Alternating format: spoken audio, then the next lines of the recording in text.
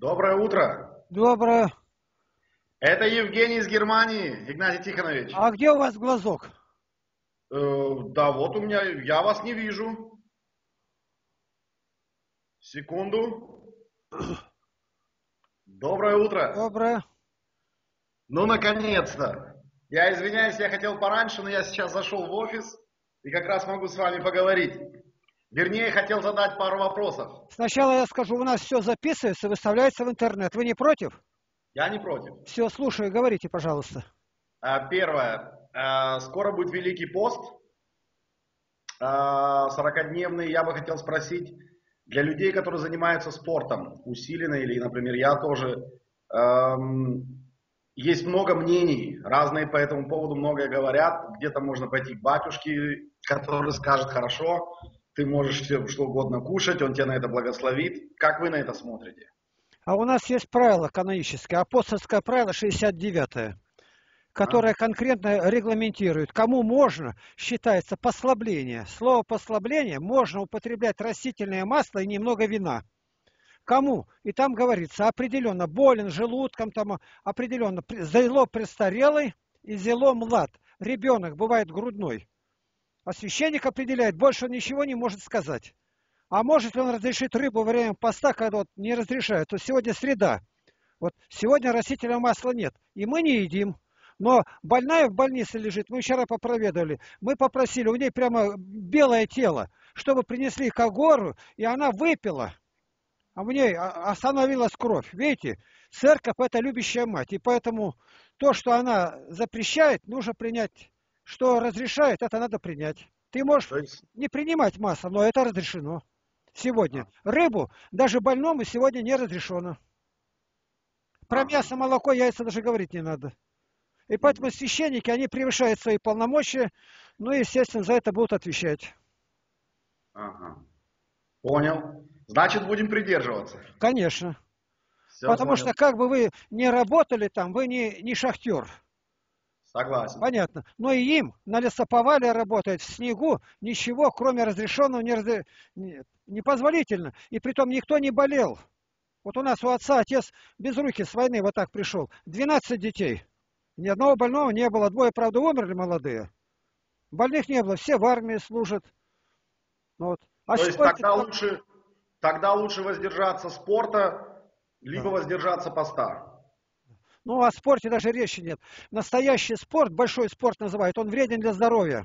Люди надрывают себя, футболисты прямо на поле умирают. Просто заниматься. А почему деревенский житель не занимался? Потому что у него там сено подай, навоз вывези, корову выведи, напоить. Ему вот так спорта этого хватает.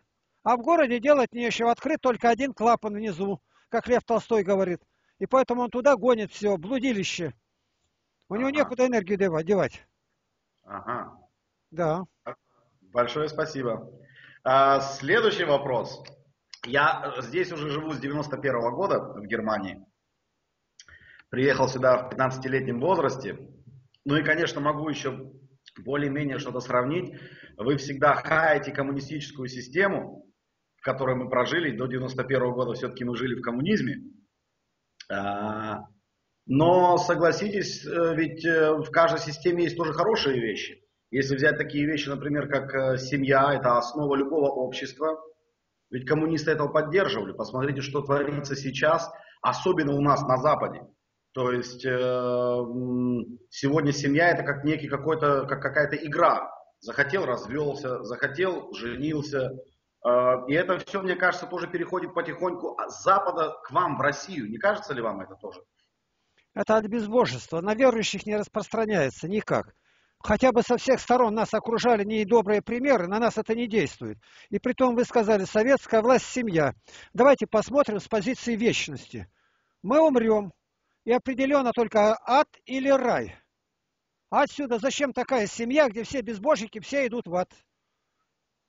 Верующим нельзя было быть. У нас верующая семья, как нас преследовали, как смеялись, чего только не было. А ведь были, что отбирали детей он у баптистов и ну, мы знаем, какие были истории. Поэтому надо смотреть намного глубже. Не просто семья им нужна была, а семья роботов, манкуртов. Выполняли их решения. И все. А жили невенщины. Зачем семья, когда живут невенщины в блуде? Мы дети блуда рождаемся. Вот если когда с той позиции смотреть, тогда по-другому говорят, вот мы, мы, мы вот наша э, община, ну, не воевать. Мы, если идем в армию, кто наши ребята идут служить, то на альтернативной основе, без оружия, за больными ухаживать. Вот. Ну так а если бы напал Гитлер, давайте дальше смотреть. Война это наказание от Бога. И если бы мы жили правильно, Гитлер не зачался бы и не родился. Вот как надо рассуждать. И тогда и не надо воевать было бы. А раз мы грешим, поэтому Гитлер пошел. Гитлер наказал, а потом наказали его. У Бога все вымерено. Надо все мыслить критериями Святой Библии. Тогда у нас не будет ошибочных каких-то завихрений в мозгах. Вот ответ. проблему искать, проблему искать в себе. В нас конечно, конечно. Вот многодетные семьи, где верующие? У нас тут ни одного аборта нет. За аборт, если женщина сделает, правило Василия Юрика II, на 10 лет от церкви. 10 лет он будет стоять где-то там в коридоре. Это не игрушка. Поэтому это убийство, самое натуральное убийство. Сейчас в Абхазии запретили делать аборты. А у мусульман 2 миллиарда, у них на смертная казнь. Один аборт и ей голову отрубят. И поэтому у них в среднем 8,1 ребенка. 8,1. А в итальянской и в немецкой 1,8. На 100 человек. Ну, процент. Процент, а, да. Да. Согласен, мы здесь, мы здесь это в Европе чувствуем. Ну да. Да, да. Это явно, это явно. А следующий вопрос. Я очень часто смотрю э, э, Алексей э, Осипович, э, Осипова, Алексея Ильича. Очень э, хорошо он выступает. И как-то посмотрел тоже Владимира Познера который высказался и говорит, если бы Россия приняла э, католицизм, то мы бы жили, э, то есть в России вы бы жили богаче, чем евро, были бы европейцы. Я не хотел бы услышать, как вы на это смотрите. То есть, если бы Россия отказалась э, от православия и приняла протестантизм или капи, э, католицизм, то тогда жила бы как Европа Россия. Вот я бы хотел услышать ваше мнение. Как... Хорошо, слова он сказал. А у нас говорят, если бы Гитлер победил, мы бы пили баварское пиво. Ну и что? Они говорят, пускай они выкладку сделают. Комсомольская правда на развороте, огромная статья. Если бы большевики не победили в 17 году, нас бы было сегодня, русских, 650 миллионов. Выкладки Дмитрия Ивановича Менделеева. Вот что мы это точно знаем. А что был бы католицизм, жили лучше, а был бы протестантизм, еще лучше жили, люди работающие. А если все были бы мормоны, еще лучше жили. Ну разве так судят?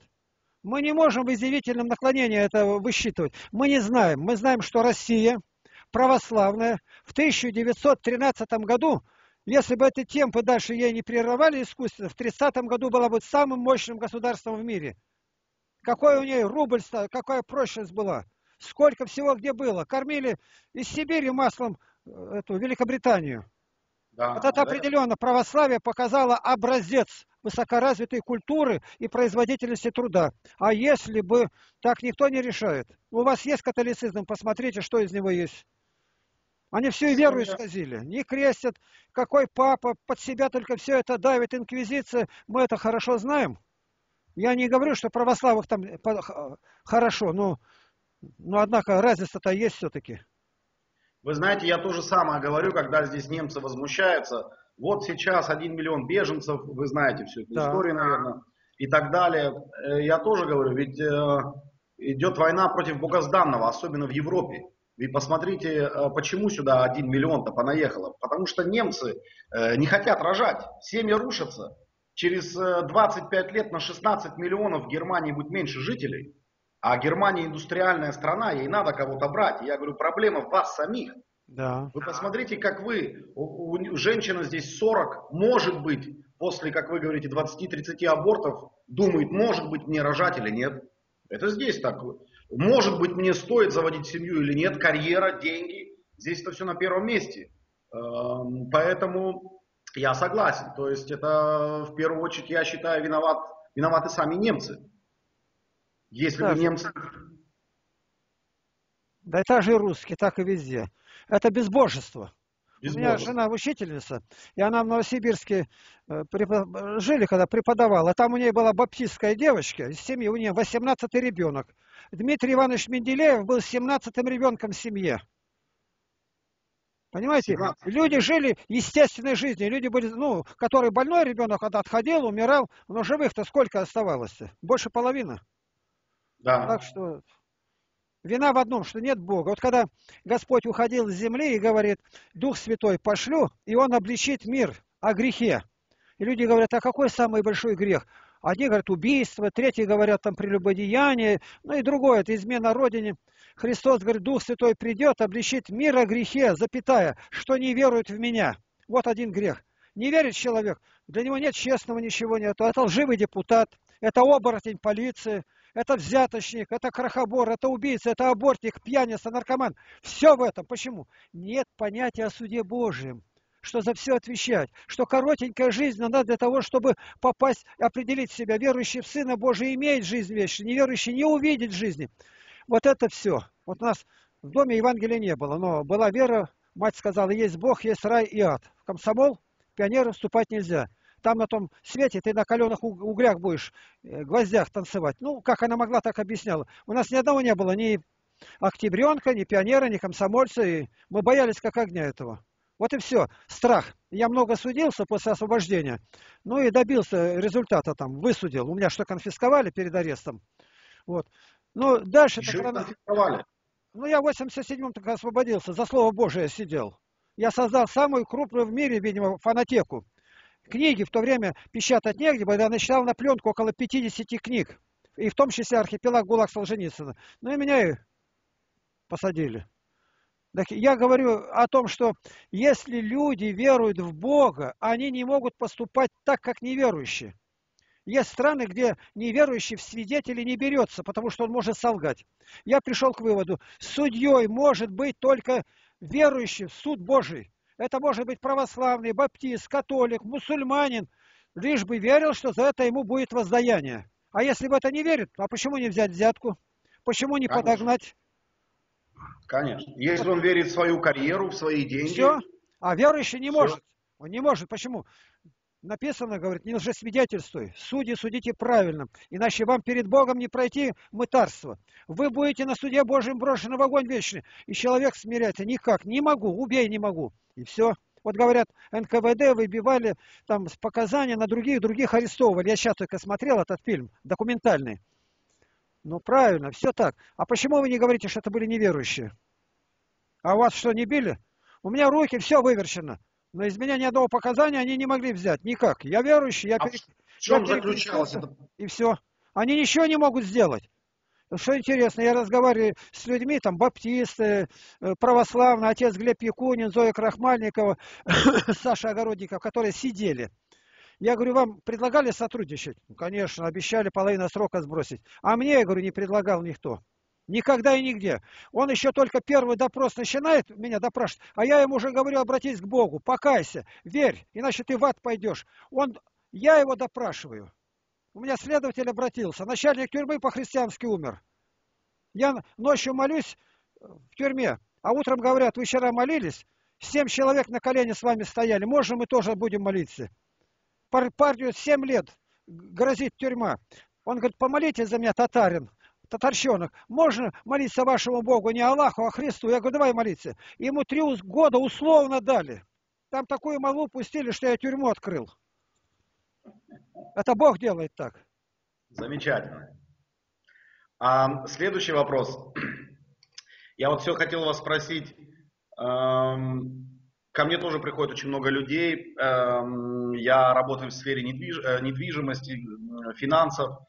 И вот иногда приходят люди, говорят, вот у меня сын наркоман, вот как бы ему помочь? И вот ты не знаешь, думаешь, куда бы его привести, эм, хотя я сам православный. Эм, как помочь таким людям? Я, я понимаю, можно помочь, если, например, нуждающий, нет денег на хлеб, на соль. Здесь как-то легче помогать. То есть можно вынуть портмоне, дать деньги, помочь. А как в таких случаях? как помочь таким людям, которые зависимые? Да что значит слово зависимое? Не надо делать подмену слов. Он избрал участь дорогу смерти. Господь говорит, я предложил тебе огонь и воду, жизнь и смерть, благословение и проклятие. Избери, избери добровольно, ни, ни, никакой помощи не надо. Но добавляет, зачем вам умирать? Это Библия, пророк Исаия говорит. Вы ему не поможете, вы ему должны сказать, ты хочешь иметь жизнь вечную, на этой земле жить не 36 лет, а 76 веруй в Бога. Это мы храм Божий. Дух Божий говорит, приду, вселюсь и обитать буду. Ты разрушаешь храм. А кто разрушит храм, того покарает Господь. Ты не должен жить, ты умрешь. Вы ему правду скажите. Я начинал такому говорить, а он стоит, курит. Видал я такой, а в руке бутылка.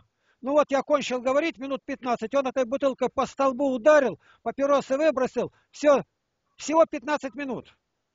У меня, ну, сколько раз было преступников, а я, у меня собаки восточноевропейской овчарки, немецкие, я в уголовном розыске занимался. И с поезда грабят снимал, один, а там человек 10 грабят. И Бог наводил такой страх, что они ничего не могли. Я заставил вещи обратно погрузить. Там ковры, холодильники, там масло, все. На утро приходит милиция, линейный отдел. Вот мы знаем такое, кто был. Я говорю, кто был? Бог знает только, кто был. Ну вы же знаете, знаю. Ну так а почему? Вы такое большое дело сделали, мы бы сейчас отрубили и больше не было. Этого не будет. Они мне дали слово, что больше тут не будут. Так они потом встречаются, у них нормальная жизнь пошла. Ну, некоторые, я всех-то не знаю. Ой, отец, да как бы не вы, да вы понимаете, что было. Они меня однажды, другие там захватили, ну там с ножами, а этот увидел, да кого вы задержали-то, меня до дома провожают, как доктор Газ. Когда мы сеем доброе семя, взойдет то, что ты сеял. Ты открыто скажи людям о Христе. Тебе не избавиться от наркомании, потому что это узда, за которую тянет сатана. Тебе не вырваться. Ты скажи Иисусе Христе, помоги мне, я погибаю. Скажи, силой своей, пронзенной рукой, дланью, извлеки меня из этого. Ну и дальше ему сказать, иди на работу. На работу крепкую физическую, не компьютерные игры. Копай землю, что угодно из себя, чтобы эти пары дури выбились. Ему не надо ни денег, ничего помогать. Ну, бывает, да. вот подошел парень один, ну, прилично выглядит. Отец, я недавно освободился, вот хлеба купить не на что. Я говорю, ты не обманываешь? Да нет. Ну, я ему дал, там тогда была тройка. Он взял, пошел, а я за ним следом иду, а он не видит. Он зашел в магазин и подходит к винному отделу за вино. А я руку протянул, деньги взял, он обернулся, а я деньги в карман положил и пошел, он стоит ни с чем. Ты обманул? Я бы тебе не дал, а после как тебе, да он голову опускает. Ну, как ты себя поведешь? Ну, другой ворует все время. Я гляжу, привез уголь, а у меня через дорогу сарай. И он оборачивается и нагребет ведро-то, отнесет, и опять... А он не видит, что я его вижу-то. А сам оборачивается. Ага. Ну, хороший, фамилия Блинов его, я могу даже сказать. Я тогда встал через дорогу, подошел к нему. Я говорю, Вова, ты, ты не оборачивайся, у меня угля много, бери, только не опасайся. Ты не воровал, я тебе дал, добровольно дал. Так он не знает, куда меня посадить теперь. Ты сделай для Бога, скажи это. А я, ну, у меня я работаю, раз я работаю на двух-трех работах, у меня всегда деньги есть. Я печник, свободное время, это при, прибыльная а, работа. Ночью я переплетаю книги для организации, днем сижу там, почерняю валенки на работе. У меня отовсюду прибыль идет, а у него ничего нет, ребенок родился, угля нету. И он берет и дрожит. Зачем тебе дрожать? У тебя неправильно желудок работать будет. Бери, я тебе отдал. Так он, это друг на все время. Ну, маленько-то посмотреть. Можно руки отрубить за бросок, а в Тунисе. Но надо маленько посмотреть. Почему? Почему? Жизнь – это опыт, и потому мои года – мое богатство, как поется. Богатство – это так, опыт. Где-то надо приструнить, а где-то сказать, сделать послабление. Наркоману послабления не может быть никакого. Это добровольное умопомешательство. Ему только работать. А я есть не... Ну не ешь, иди на вокзал, таскай вещи, помогай, заработаешь кусок хлеба. Ему нельзя ни копейки давать, потому что что ему положено на месяц, он прокутил, отдал за это зелье. Не да. надо обманывать само себя. А вот наркозависимый, он зависимый от сатаны, от греха. Его не спасти. Вот у меня приезжает, я начальник детского лагеря, организатор православного. 44 года я начальник. Понимаете, это ты на одну неделю возьми пять ребятишек, ты с ними замучаешься. А 44, сотни бывает. В частном порядке. И вот приезжает, исследует там профессора, как можно в течение одного месяца наркоманом, ну прям наркоман э, готовый ребенок-то, и вдруг все абсолютно брошено. Мы начинаем с молитвы, утренняя гимнастика, пробежка, днем раз шесть купаемся, в воскресенье на лошадях катаются на лодке. Я их вожу в лес, собирают ягоды, знают травы. Они все у меня знают, ребятишки, в течение одного месяца. А тебе это надо? Ну как не надо? Ну Бог дал мне жизнь, я ее должен употребить на дело. Совершенно верно. Я работаю в тюрьме 17 лет. Бесплатно. По камерам иду. Они меня слушают. А так, они знают, я каторжник. Они просто священника так не будут слушать. И я им говорю, где выход. Узнаю, что нужно, я иду ходатайствовать перед властями. Они освобождаются, меня стараются найти и чем-то отблагодарить. Ну ты сей доброе семя-то всегда. А, а ты такой-то, ты такой-то. А ты долбить друг друга-то легче. Конечно. А ты просто открой сердце, ты, ты увидишь, сколько дорог к добру ведет. Как это можно не видеть это? По отношению к наркоманам одна позиция. Работай и молись. Молись и работай. А я не буду. Не буду жить, как балласт, Бог тебя спихнет. Ты не должен жить. Сегодня я тебя накормлю, кусок хлеба дам. Завтра Здоров. зарабатывай свой. Накормить Здоров. я тебя накормлю, но не больше, ни копейки не дам. А будешь Это... есть, как и я, картошка и хлеб. Дорога в никуда. Спасибо большое. Да. А, тема сектанства. Не знаю, насколько оно у вас развито, но здесь, э, вы знаете, я все чаще э, ставлю закономерностью, а чего-то можно у них научиться. Ведь вы посмотрите, э, как они, как они народ влекут, как они обрабатывают. В чем проблема? Почему православие, православие тут проигрывает? Мое мнение. Ведь я тут сталкиваюсь, думаю, этого быть не может. Э, смотришь, Иеговы, это, общины растут. Э, почему это так? Я не знаю, у вас, наверное, то же самое в России. То же самое. Ага. Почему? Потому что не любят ни Бога, ни Святую Библию. И виновны в этом священники и монахи. Они поставили самое главное, чтобы подчинялись им. Батюшка благослови, батюшка благослови, и больше нет. Библия не нужна, а вот авторитет. Чтобы епископ – это главный князь, князья. Бог не устанавливал князей, он говорит, вы слуги друг другу. Служите друг другу. Сектанты, они работают напрямую, прямо берет Евангелие и смотрит. А у православных только через батюшку, через кого-то. Даже Библию считать, батюшка благослови, считать Библию. То ну, есть через посредника. Ну да, посредник нужен. Ну да. и до какой же степени-то? Мы молимся святым. Иоанн Креститель, моли Бога, а нас, мы православные. Но дальше да. этого не идет. Я просто знаю, что они живые. Вот особенно баптисты. Это очень хорошие люди. Мы близко знакомы с ними. Но они не церковь. С позиции вечности. У них нет священства. Вот они на православных говорят и говорят правильно. Но тогда не надо нашего епископа. Иди к католикам. Католики церковь настоящая. Попросите, чтобы вам католики, там два-три епископа, вам рукоположили из вашей же среды пресвитеров. А ваши там рукоположат остальных, и будет церковь. Но Бог не допускает это. Ну, мы нехорошие. Ну, Григориано-Армянская апостольская церковь, копты сирийцы. Ну, кому-то пойдите, вот пять. Пять от апостольских времен сохранили рукоположение. Вот тогда будет церковь. Ну, а если... Что он имеет корни. Да, если вот сейчас выстроить, допустим, 100 баптистов и 100 православных, не выбирая, просто выходит там молитвенный дом, храм, сравнивать в нравственном положении даже не приходится. У баптистов не ругается матерь, но православных сплошняком. Не курят, в большинстве не пьют, ну, живут нормальной жизнью, разводов почти нету. Ну, православных-то на самотек батюшка он только свидетель, регистратор грехов людей, ему исповедуется. А когда начинаешь с православными работать, вот мы работаем в общине, у нас ничего нету. Даже баптисты на нас смотрят, и они, мы ничего этого не можем сделать. У нас жертвенный народ. Вот библейское общество, Библии издают, и здесь приезжает председатель, он ездит по всей Сибири. Он только два раза к нам приехал, у нас Тут нас горстка маленькая-то. И он говорит, по жертвенности на издание Библии бесплатно раздавать. Мы вышли на первое место, шестизначные цифры собирали. У нас народ очень хороший. Конечно. Православие – это жертвенность, православие – это красота, целомудрие, это толкование святых отцов, каноны, это история церкви от первого века. Баптисты, 1639 год, первая община. Никак лютеране не могли быть раньше Лютера, 1517 год. Ну, церковь-то не 1517, а была в Сионской горнице при апостолах. Это понятно, что это не от Христа идет. Дерево без корней. Да. Рано или поздно оно засохнет. Именно так. Да, да. Но, к сожалению, к сожалению, я смотрю, все меньше и меньше людей на это смотрят, все больше и больше ходят в секты, хотя они считают, ну я не знаю, э, у меня есть очень пару хороших друзей, и вот они тоже говорят, ну поклонение иконам.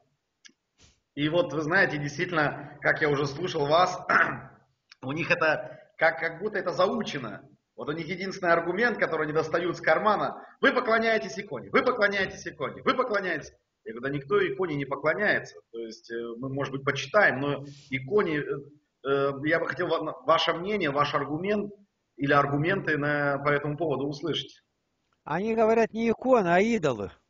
Идолы. Вы, говорите, идолам поклоняетесь. Ну, в первую очередь, я говорю, а на каком основании? Ну как, книга Исход, 20 глава, там 3 стих. Правильно, там написано «не сделай». А вы верите, что вся Библия богодухновенная? Я рассказываю на два голоса, как бы с баптистами разговариваешь. Конечно, верим. Все в Библии написано Духа Святого? Да.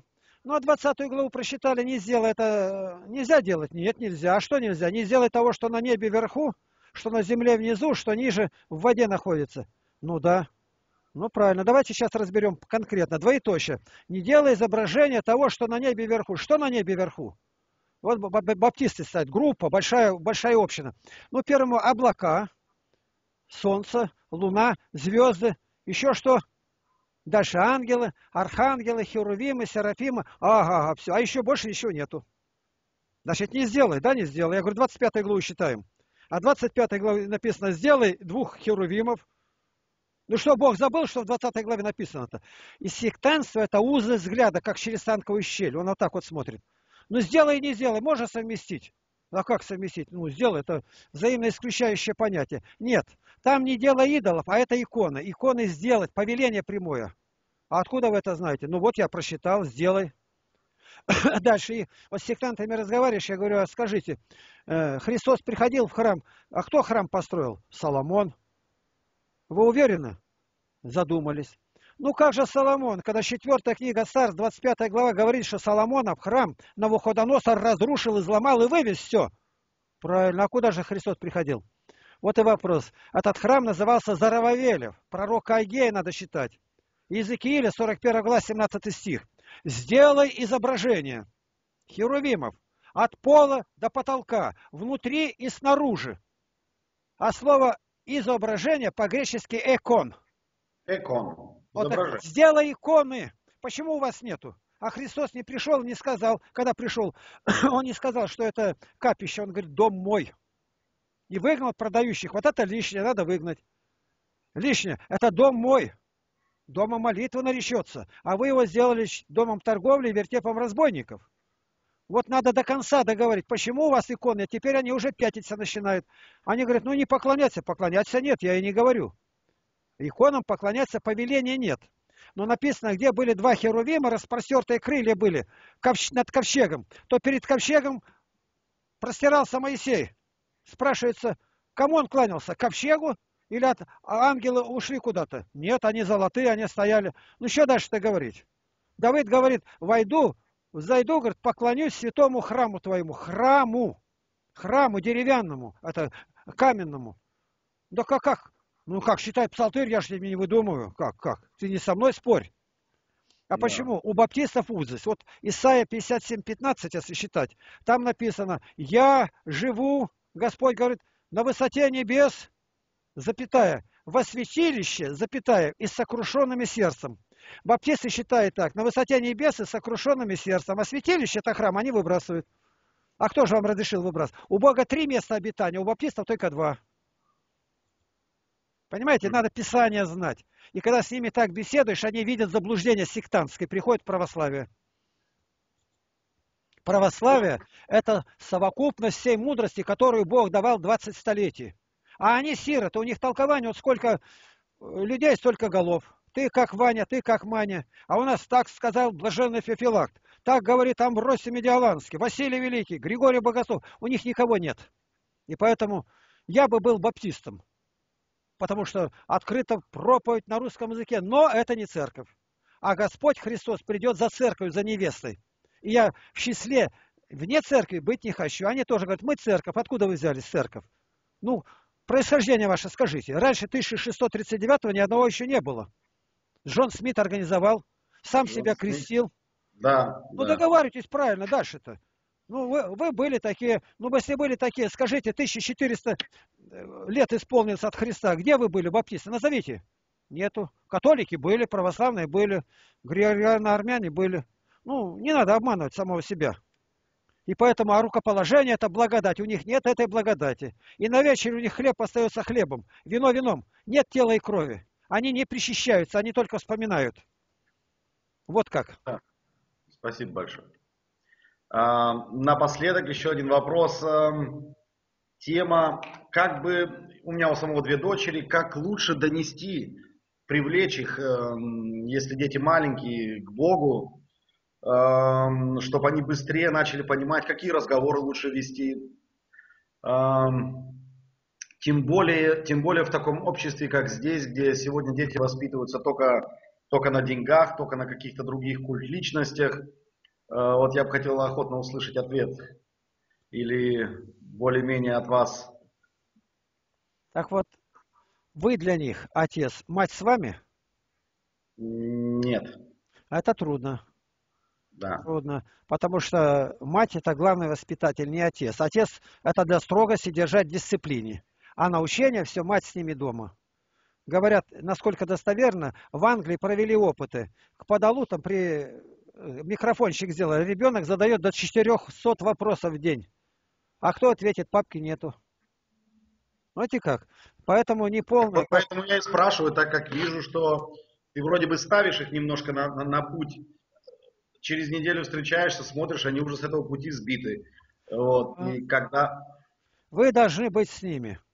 Должны никуда, чтобы они без разрешения не выходили. То есть я просто скажу, образец мусульманские семьи по одной не выходят. Они в шестером выскакивают, через дорогу перескочили там кому-то, все, больше их не видать нигде. Потому что если, если она будет... Живут. Если она не девственница, ее убьют, зарежут. Да. А тут сегодня не найдешь, чтобы она в Германии показывают специально в школах полностью раздеты. Учителя ни одной нитки нету, ни учащихся, никого нету. Полностью раздеты. Десятый класс. Еще мне думают, здесь показывают, в интернете, полностью раздеты, ни одной нитки на них нету. И они в спортзале канатом перетягивают, учитель бегает, все нагишом, все до одного. Ну еще дальше что увидели? Ничего и нету. Наоборот, когда она одета, одета, она привлекательна, тайна создается. А тут ничего нету. А ничего нет, и все понятно. Обыкновенное, просто все по-скотски открыто. Ты посчитай, Виктория Гюго отверженных. Она садилась, когда в кабриолет, это карета, и когда посадилась, ногу подняла, ну щиколотка где у ней? У ней подол до щиколотки оголился, платье подняла. Но она обернулась и увидела, офицер стоит вдалеке. Она его не знает, она села, уехала, она покраснела. И до самой жизни она вспоминала и вздрагивала. Вот стоят мусульманские девушки, город Багдад.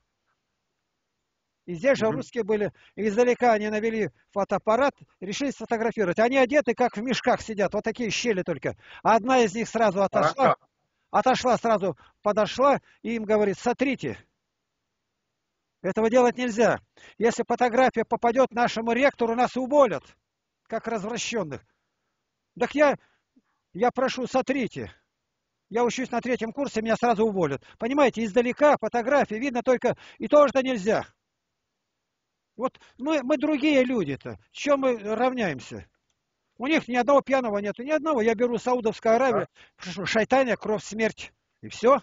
Ни одного аборта. Да нам во веки веков не быть такими, как они. И поэтому эту землю Бог отдаст другим. Немцев не будет, русских не будет. Там ИГИЛ сейчас Францию рвет. У вас это Ангела Меркель там еще пытается через кого-то действовать. А сметут и она говорит, Ангела Меркель, там не миллион у вас. Вы что говорите миллион? У вас в Германии не миллион оттуда. У вас сейчас, я не знаю, чуть ли не 47% уже оттуда. Данные. Я считал это. И она говорит, мы думали, они будут приезжать, ассимилируются. Наша надежды не оправдались. Какие они были, такие остались. Почему? Намаз. Пятикратная молитва в день. Вот что их держит-то. Ну и шейхи, ну и муллы. Они проповедуют, они работают. Хотя у них нет спасителя Христа. Но остальное, как они одеваются, посмотри, мы видели в Германии, во Франции, когда они идут, как они одеты. Ну, сравнивать-то не с чем. У нас идет она в одних трусах по улице. Да. Вам, да еще у вас две дочери, у меня один такой знакомый в Финляндии, тоже я один. Ну, вам просто надо ближе быть к ним, считать священное писание, быть строгим. Вот я смотрю, что вы православные, бреетесь. Почему бреетесь? Ну? На работе надо таким быть. Нет, не надо, не надо таким быть. Это неправда. Говорят на работе. Тебя будут за бородой держать. У нас главный, который по реактивным двигателям был, Курчатов, вот какая борода у него была. В советское время. А, А Иван Петрович Павлов, посмотрите, какие были люди. Даже посмотришь, адмирал Макаров, борода во всю грудь. Да вам ли немцам говорить об этом-то? У Карла, вот у Фридриха Энгельса, посмотри, какая борода. А у Карла Маркса никто не Ну, считал, в то что время это- было- в то время это относилось Нет, к это не время. Мы в Германии были. Я знаю. Мы все с бородами. Вот которые нас ехали, все с бородами. Но мы что-то маленько там, что-то где-то нарушили. Что, я даже не понял. Я не, не шофер-то. Мгновенно нас полиция остановила. А мы посмотрели потом, они нас буквально задержали на краю, мы могли свалиться там. Крутой обрыв был. А за рулем сидел э, юноша, у которого не все ладно со зрением в ночное время. То он даже не сказал. И они нас в свой полицейский участок привезли, и давай нас потрошить там. И так даже где стекло выдвигается, и туда фонариком так светили, смотрели. Ну ничего нету. Мы говорим, мы тут недалеко, зоны Берг, а там совсем не- недалеко. Нам надо туда ехать. Ну, телефон дали, он позвонил, она им говорит, да это мои гости едут, заблудились-то. Так они с нами сфотографировались. А девушка одна стояла, еще смеялась. Такие крепкие немцы стоят, и наш, а мы все с бородами. С бородами. Ну и они машину впереди нас послали, чтобы нас вывели на дорогу и уехали. Я когда приехал сюда, а я когда-то немецкий язык изучал. Я у немцев проповеди говорил на немецком языке. Я самостоятельно за 6 месяцев выучил его. Прекрасно. Это Бог дал. Потом английский там за, Да. за 6 месяцев. Да. Это Бог дал так. Ну, это ни к делу не относится. И вот здесь, когда приехали сюда, а я уже все забыл 50 лет назад, -то, девушка одна занимается, я написал текст, она написала, какие ваши ребята хорошие, как они к нам отнеслись. Я это письмо на немецком языке узнал, где они там, в какой части, и отправил с фотографией, где мы стоим. Отблагодарил это командование. Какие у вас полицейские хорошие. Они наркотики искали, оказывается. Ага. Это наркополиция была. И вдруг такие-то ваххабиты приехали с бородами. Вот так. Но здесь все-таки обращение полицейских к гражданам, наверное, отличается. Очень, очень. Да, да. Нам нигде они не приставали. Вот задержали один раз, и то я благодарность послал на бланке с печатью на немецком языке и на русском копию, и фотографии. Я думаю, что тем ребятам было приятно услышать это. Конечно, конечно, конечно. Игнатий Тихонович, большое вам спасибо. Пора мне работать. Так, вас как звать величать-то? Величать меня Евгений Так, Евгений. А фамилия, фамилия как? Трубилов. Трубилов, да? Да. А У вас тут не написано в этом-то? Должно стать, по-немецки должно стать. О, Недели через полторы, две будет Так. ролик, вы смотрите. Без Под- проблем. Под ним я могу вам выслать, сейчас написать наш- наши ресурсы, где сайт, форум, там все данные. Ну, Охотно. благодарю вас. Вы только знаете, что звонить можно. Запишите как. С, с 3 до 17.00 по Москве. С 3 Трёх до, до с- с 3 до 17 Все по понял. Москве. Вот так. А мы вчера только-только улеглись, и в это время звонок. А мы всегда встаем в 4.40, а я в 3 часа еще ночью. Только прилегли. Сколько же вы спите в день? Ну, раньше я себя довел 2,5 часа в сутки. Ой-ой-ой-ой. Это Господь дает силы, вы не удивляйтесь. Это Бог дает силы. Сейчас, конечно, мне надо больше, я чувствую, мотор задыхается. Ну, мне 77-й год. Да, я что прошел. 77. 77-й тут будет. И ни одной, таб- ни одной таблетки не съел я. Меня же в морозилке держали 13 дней. У меня бронхи все полетело, как тряпки. Надо, главное, я знаю, как не болеть. Вот запомните, пять не. Никогда не сердись. Не сердись, не завидуй, не злословь, не ревнуй, не ленись. И тебе вот все хорошо. Спасибо, да. И Избавиться 5Б, от этих страстей. 5Б, без которых не спастись. 5Б. Бог, Библия, благословение, благовестие, будущность. Спасибо большое. Слава Иисусу! Слава Иисусу. Здоровья вам. Храни вас Господь! Вас также спасибо.